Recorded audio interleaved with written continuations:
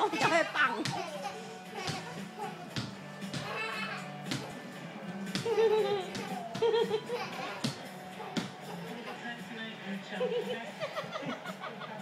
He's mad now, look at him.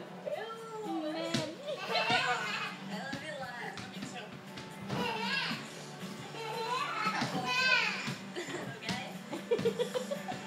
dạ, thế suy nghĩ cả thế này đâu bà. parem.